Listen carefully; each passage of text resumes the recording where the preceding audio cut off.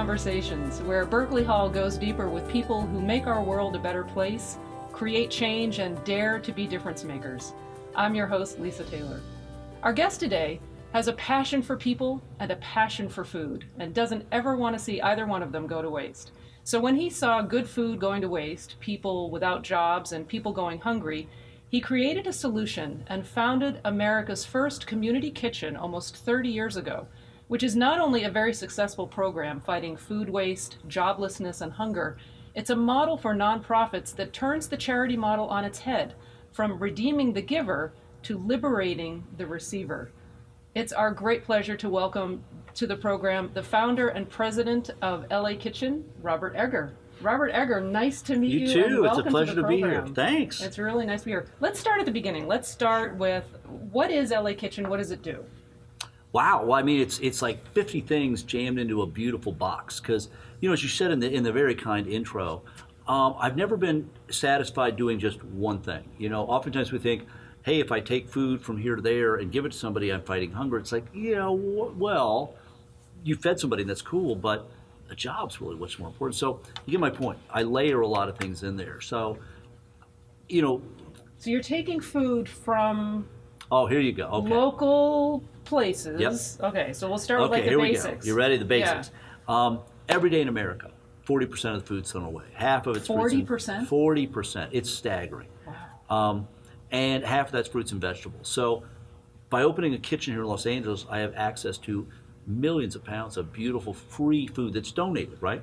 So donated food, and it comes from restaurants, hotels, but primarily um, big uh, uh, wholesale businesses, grocery stores, and farmers directly food they hate to throw away, again, fruits and vegetables, comes into our job training program. So what we offer is younger men and women who are aging out of foster care, who are often, statistically, on a very tough journey. Because you know we say in effect, okay, you're you're you're emancipated now, go off and do whatever you're going to do, but you're not our responsibility anymore. And so often those men and women stumble, and oftentimes end in prison. So that is, let's get those men and women before they end up there. But we also uh, uh offer men and women who are coming home after long journeys away a chance to come back. So I'm very interested. Can an older person who maybe spent 10, 20, 30 years away help a younger person avoid that same trap, right? So free food comes in, men and women in a 15 week job training program learn culinary skills where they learn to chop, dice, puree, juice, zest, all the stuff we get. Now what's exciting is usually a week or two in, now men and women know enough that when volunteers come, they can in turn teach volunteers. So by the second week, where people are still thinking, you know, how am I ever going to really do this? Or I'm just an old fella, no one's going to ever accept me. Suddenly, here are students from a school like this coming to volunteer, and imagine the power of, of, of the joy of helping people learn to, to yeah. produce beautiful meals together. So I think for many people who graduate, there's a sense of, I finished something, mm-hmm. you know, I graduated, my family's proud of me. I spent 15 weeks making beautiful food so that other people are fed. So we're trying to do is set people up so that they see that what they're learning can earn them an income, it can earn them respect, but it can also give them a sense of place in the world because they made the, the world better for somebody through the power of cooking. So how did you come up with the solution? You looked at these three problems and you sat there in your in your room and you said, "I have an idea. I'm going to create this." I mean, how did you come up with this brilliant solution, this model? Well, you know, it's funny talking to the students today.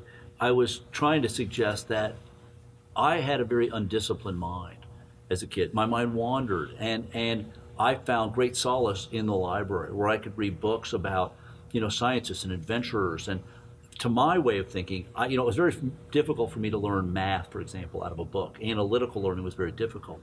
But, you know, through art and, and music, I came alive.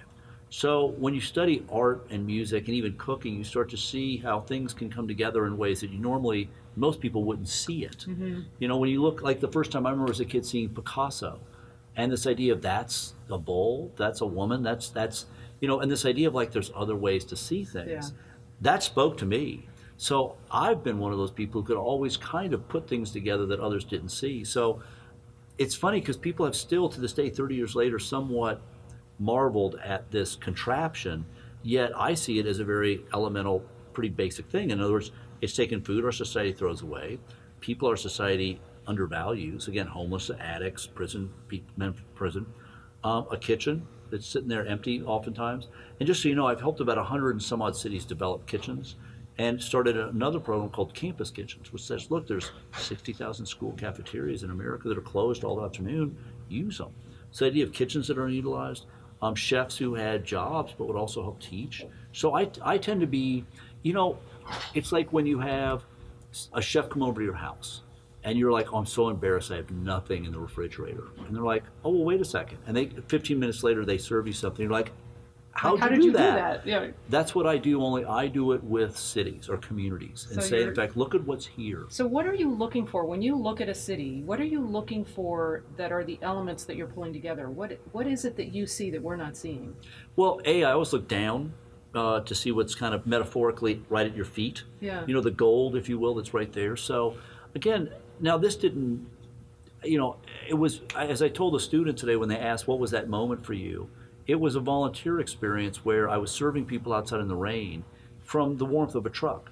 So I, I, I experienced charity, which I get it, it's time honored, but as I've said, it's more about the redemption of the giver, not the liberation of the receiver. And I kept thinking, I'm the one getting the better end of this deal. I get to go home feeling good about myself at the expense of somebody who was outside on the street. So that made me think about the person there, the empathy, if you will. Right. But also, I came up in an era in the 60s in which I saw people who took action against injustice, you know. So when I was a kid living here in Los Angeles, you know, I saw Cesar Chavez, you know, I saw Robert Kennedy, I saw Dr. King, I saw, you know, Gloria Steinem, I saw so many people taking a stand for who they were uh, or who other people were in that sense of this isn't right. So I felt as a young kid, the same age as the students we talk to today, I was I was a witness to some real incredible people and there was a sense of I want to be part of that. You know, I want to be part of that movement. So what I've I think I've done is taken a wanderer's heart um, with an empathetic soul,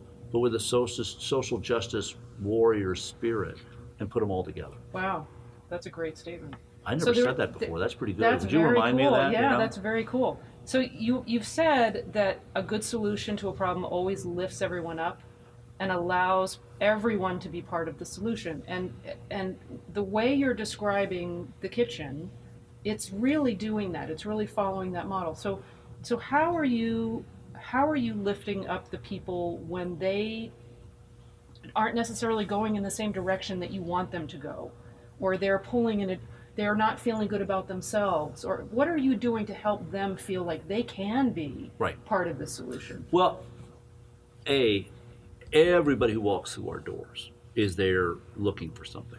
So whether it's a chef, president of the United States, you know, somebody who just got home come from prison many kitchen, times. right? Yeah, the Clintons came in, the Obamas came in.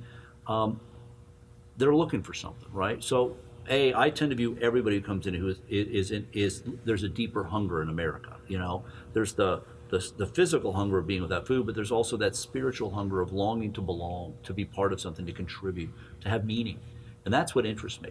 So, a, on the very first day of most classes, I'll say to the students, you know, look, it's going to be a hard 15 weeks. You know, I, I won't kid you around, and some of you won't make it, but today, on your very first day, there's an older person in this town that's going to get a decent meal because of you. You know, and I think many of the students come in thinking this is going to be school, and they're almost waiting for the moment to say, uh, "How tick tick tick? When can I drop out?" right And I think for for that kind of curveball to be like, "What do you mean somebody's going to get a decent meal because of me today?" And what they find very quickly is that becomes what makes people excited about coming to, to the school is is they're taking care of someone else. They're learning, but somebody's getting a decent meal every day. And so that idea that while they're learning a skill, someone else is benefiting is kind of the duality of what we try and do. But at the same time, I mentioned we have volunteers quite a bit, and volunteers learn from the students. So, in effect, I remind myself that when I went out that first time to volunteer to serve the poor, I was burdened by ig- ignorant bigotries and stereotypes about who I'd encounter. We all have stereotypes and we all have bigotry. So that idea of realizing that many people are going to be coming in thinking, oh my God, you know, this place works with felons and addicts and, you know, this is going to be really weird. I, I remember the way I felt. So when people come in, I want them to come in and feel comfortable very quickly. So it's very clean, it's very organized, and everyone's in uniform. So there's a great sense of order. Yeah. But I, I want people to, in effect, everyone when they leave to feel like, wow, this made me a better person today because I made somebody else a, a, a decent meal. You were you were mentioning that spiritual hunger. You know, the hunger in America isn't just or, around the world. It's not necessarily the food hunger. There's a Right. deeper hunger going on, and the the spiritual hunger that you're feeding of being of service to someone else. That that taking that unselfed position of I'm now helping Right. someone else. I'm teaching the volunteers who come in. I'm, you know, giving a meal to someone who didn't have a meal. Has has that been the overarching sort of driving force Yes. behind the LA Kitchen? Yes. I, I realized very early on that hunger was so much bigger than I imagined. I mean, I didn't know who was hungry in America. I mean, yeah, sure, I had some basic idea there were poor people in America and homeless people, but I had no idea of the depth of it, right? Mm-hmm. So very quickly I realized, wow, I can't fix that. But if I can reveal the community's ability through working side by side to address the issue, that's the real thing I'm after. You know, sometimes people in my business can get a little bit carried away with the idea if, they, if I just get more money or build a bigger kitchen, I can feed more people. And that's cool, yes. But that's not going to solve a problem. What is it that solves the problem? Well, empathy to a certain, or empathy in action. You know, the more people, in fact, we have a process we call, and this is our little secret, I'm giving it away here, but we call the calculated epiphany. That when people come in to volunteer, I want them to leave thinking new ideas. I always say, look, we're not in the nonprofit business, we're not in the hunger business, we're in the bravery business. You know, it's our job to make people, whether they're addicts, felons, or presidents or anybody, brave enough to trust another human, to, to listen, to, to want to know more about someone else, um, to, to, to risk a little bit of their sense of comfort, to leave that comfort zone we all covet. You know, most people in America are really cool and nice, but if you say, let's talk about race, let's talk about, um, you know, uh, sexism, let's talk about a million different things, most people are like, "Ah, I don't want to. Yeah, But we have to.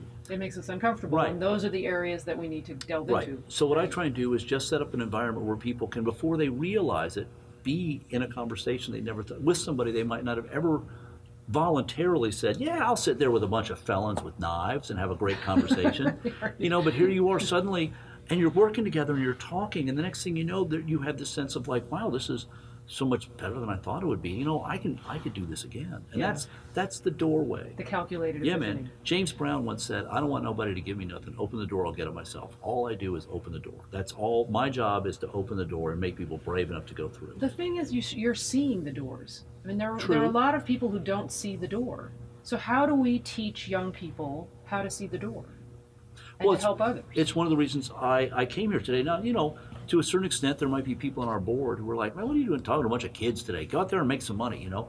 And there might be people who think, oh, man, kids today, they're all on their iPhones. But the reality is, I look at that audience that we just talked to and realize those are our future leaders. These are kids who are going to, in a million different ways, change the world. And if I can give them one little sense of, you can do this.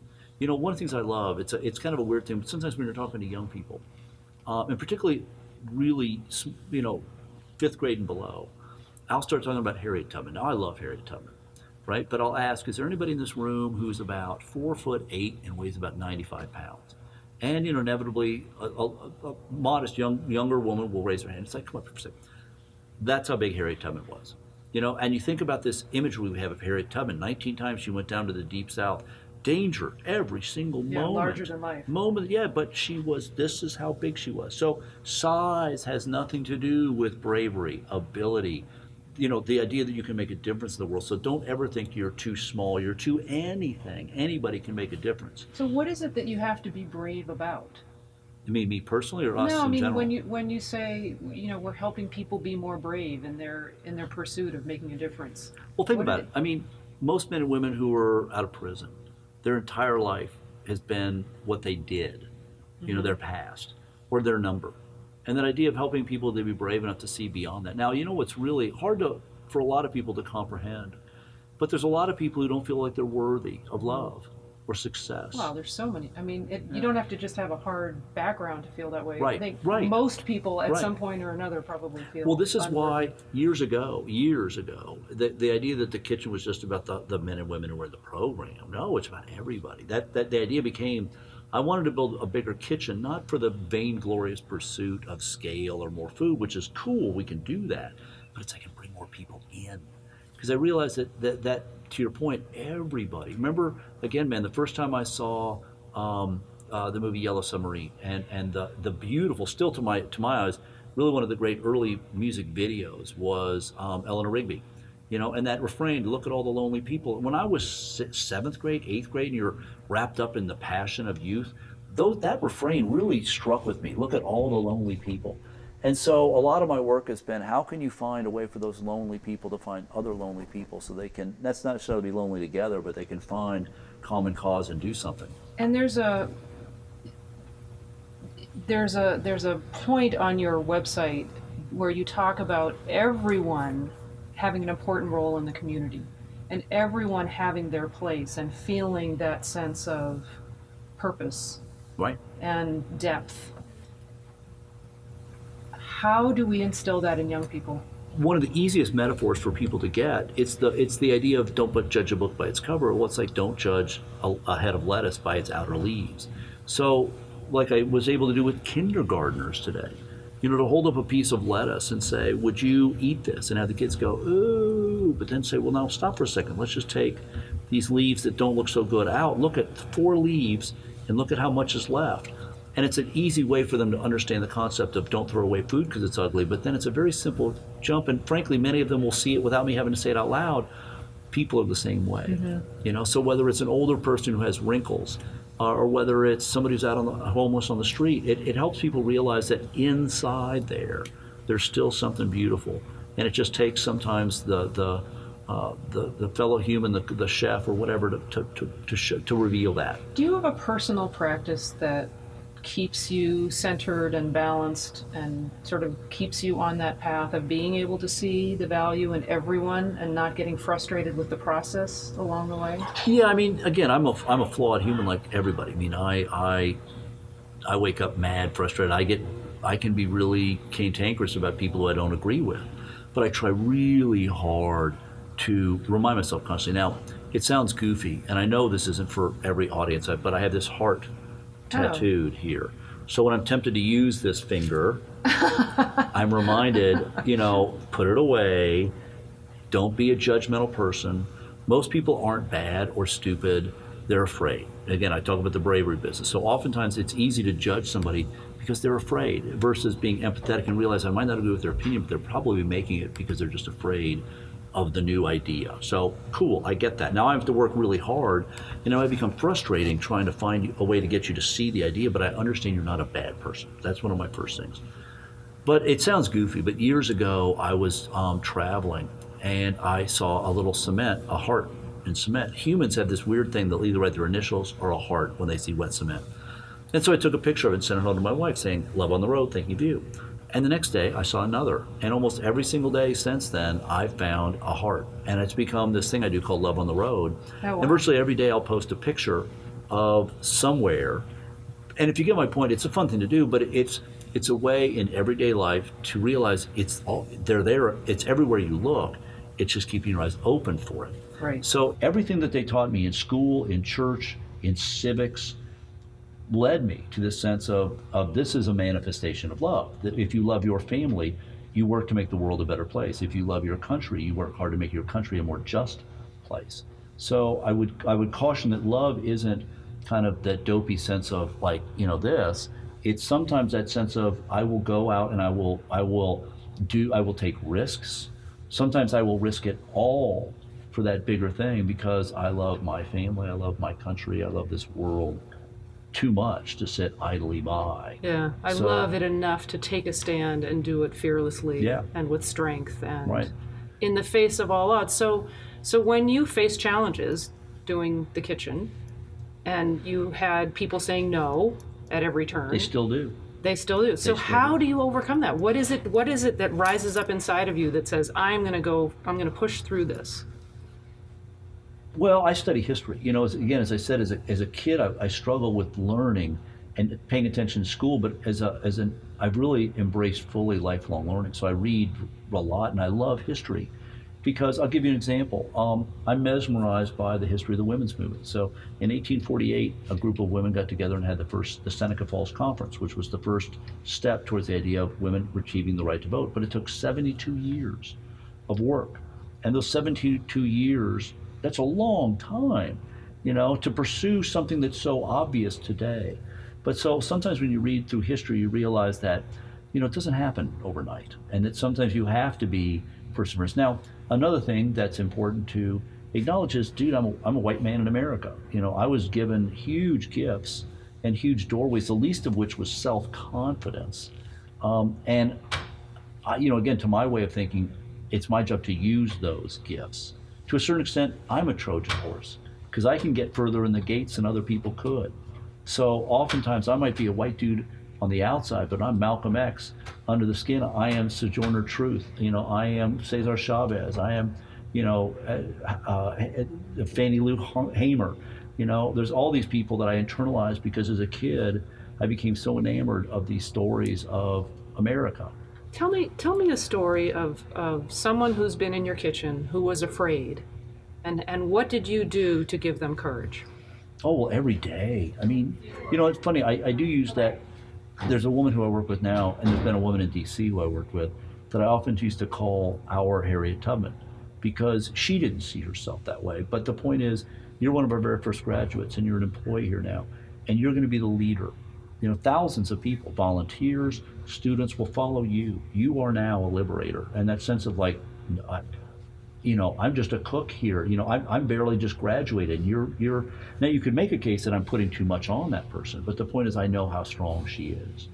Uh, but I've seen so many people struggle with that sense of, of identity and, and that sense of what they can be. I'm sure at this school, people come back and they're like, look, I'm, I'm 40 now, but what I learned here at this school still serves me to this day, which is one of the reasons I was so honored to be you know, today I'm that guy. I'm that guy that somebody 20 years from now might remember. There was this guy who came to our school, you know, and he taught me about, he, I remember him peeling lettuce leaves off, and that changed my way of thinking, and now I'm doing something on something. Is there someone in your past who played that role for you? I mean, there's so, so many, many but pick people. one. Tell us one. You know, I had, I had a, a baseball coach once, and it sounds goofy, but um, I had this coach who, um, in the middle of a game, timeout, timeout, timeout, Mr. Ortiz is playing third base, and he walks out, and I'm, he's like, I'm like, why are you coming to me? What did I do? What did I do?